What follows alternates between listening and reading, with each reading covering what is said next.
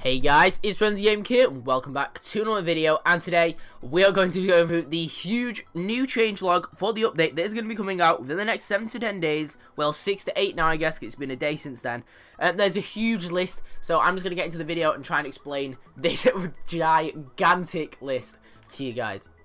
Alright guys, so first thing we're going to go through is the new items. We've got armor stands, which are absolutely sick raw rabbit, cooked rabbit, rabbit stew, raw mutton, cooked muttons, that's the kind of sheeps and stuff, rabbit's foot, rabbit's hide, potion of leaping, which is going to be sick for map building, I'm so hyped for that, as well as potion of water breathing, all the new fish, you've got salmon, cooked salmon, clownfish, pufferfish, all the new flowers, blue orchids, allium, azure, bluet, they really don't like to give me normal names, tulips, oxy, Ye, Daisy, sorry I can't pronounce these flowers, Sunflower, Lilac, Poppy, which replaces the rose, so basically just renaming that. We've got rose bushes, peony, double tall grass, large ferns, prismarine crystals, and prismarine shards. And then for creative mode only, of course, the standard, rabbit spawn egg, endermite spawn egg, and guardian spawn egg, which are three of the new mobs coming into the next update.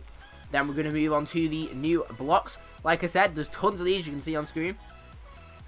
Podzol, granite, polished granite, andesite, polished andesite, diorite, polished diorite, prismarine, dark prismarine, prismarine blocks, red stand, red sandstone, smooth red sandstone, chiseled red sandstone, red sandstone stairs, sea lanterns, wet sponge, slime blocks, which is super exciting as well for maps, coarse dirt, packed ice, acacia springs, and dark oak saplings. Then we got the new mobs, of course, like I mentioned earlier. Endermite, Guardian, Elder Guardian, Rabbits, and Chicken Jockeys. I have no idea why they've added them into the game, but I thought that was a pretty sick feature for them to add for no apparent reason. Or maybe there is a reason. Tell me in the comments if you think there is, but I didn't think there was. We got the new biomes, Mesa, Mega Tiag... I've said that wrong. Tiaga. Roofed Forest, Birch Forest, Forest, Savannah, Extreme Hills Plus, not just Extreme Hills, but Extreme Hills Plus, Deep Ocean, Snowless Taiga, and 20 new technical biomes. I have no idea what that means, but there's probably just a load more cool things. And of course the updated features, so things that were already in the game, but have been completely changed. These are pretty huge. Um, fishing. Fishing now has particle effects. Bubbles will show up moving towards the bobber just before the player has something on the hook. This has the appearance of a fish swimming towards the hook, which is sick. Treasure can now be caught while hitching. Treasure is split into three categories, so you've got all the four new fishing categories with the raw fish, salmon, clownfish and pufferfish.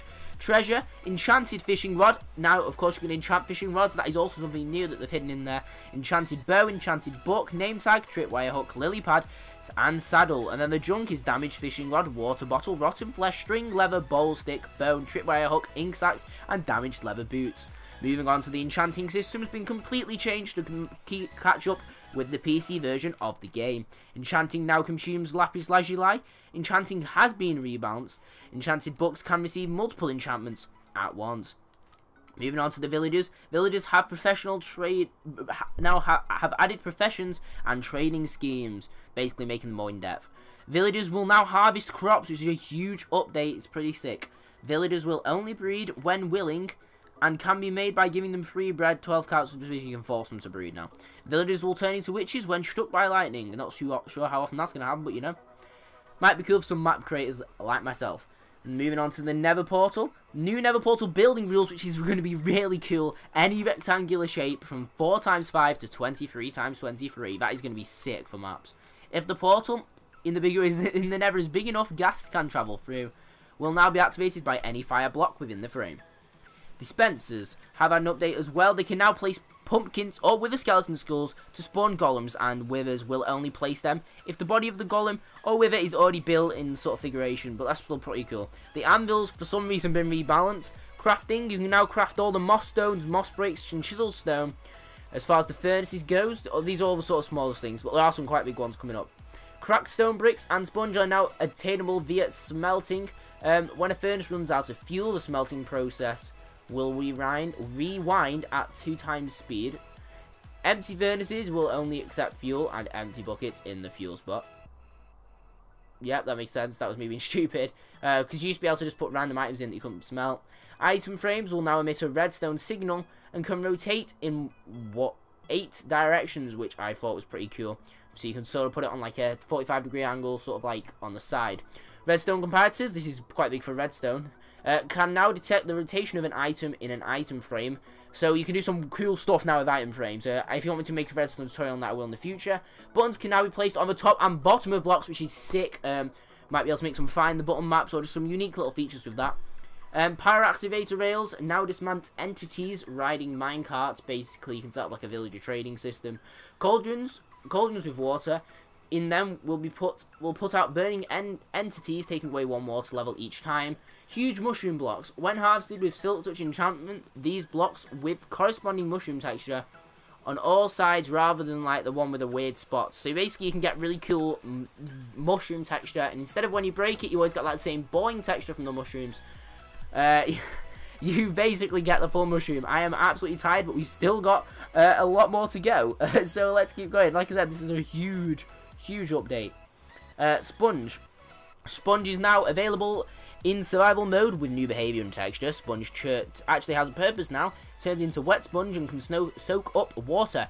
Water particles appear around Sponge when this happens. Sponge destroys water blocks from 5 blocks away in a kind of spear.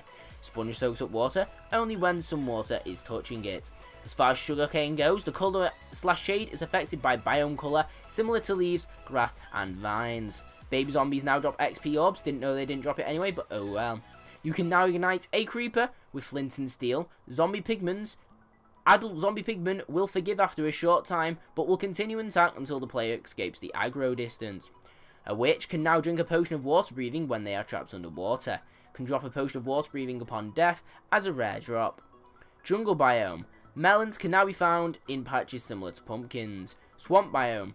Spawn with blue orchid flowers. In shallower parts, the coast is covered in staggered dirt block with lily pads in between. I have no idea what that means. Plant, plains biome generates three of the new flowers, though I'm not even going to try and pronounce them again, and can generate double tall grass.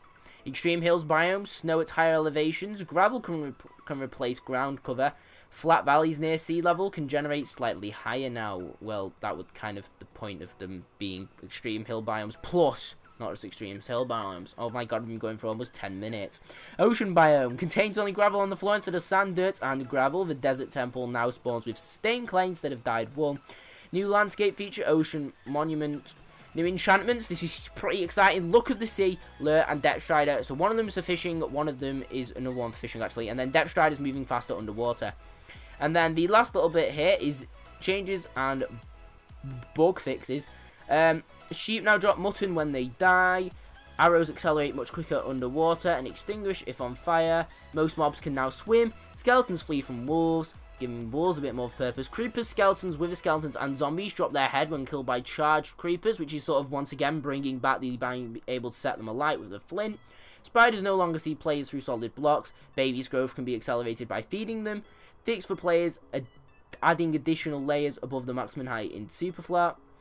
Added flint and steel and fire charge sound effect when igniting blocks, updated audio for cows and mushrooms, updated audio for minecarts, and created a new tutorial world.